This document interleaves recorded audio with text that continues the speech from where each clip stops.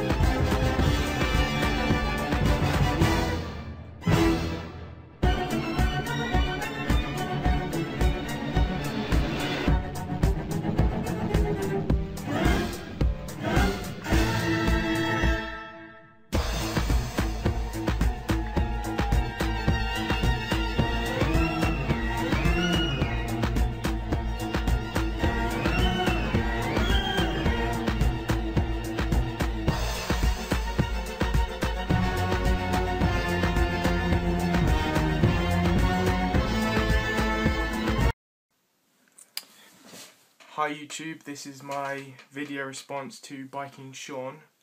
Um, this is the video response to the CGC showdown with Knife Thursday. Um, he wanted us to carve a pumpkin, where you would have just seen me carve a pumpkin, and I'm about to show you the final results, but I thought first I would just show you the knives that I used. Um, the first one I used to like cut the top and the main parts of the pumpkin was the Byrd Cara 2. By the way, this isn't the pumpkin, this is just a, another one for you to look at.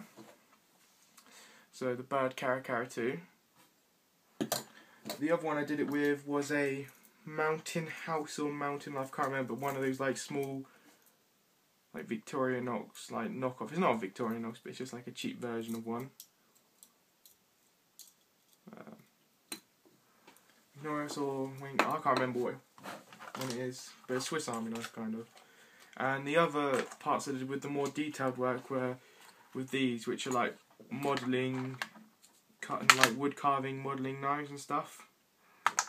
So they're pretty good. And once I've showed you the end result, and I'm probably gonna go destroy it some way. Alright, see you in a second. So here it is, the end product the knife stuck in. I thought I'd just show you some of the other ones I did for entertainment.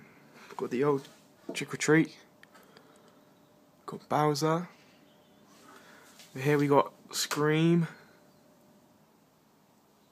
Uh, we got Spyderco and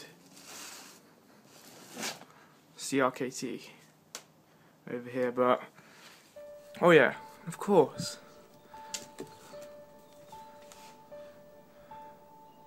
Go. Grim Reaper. But I'm just gonna go smash this one up in a minute. Back in a sec.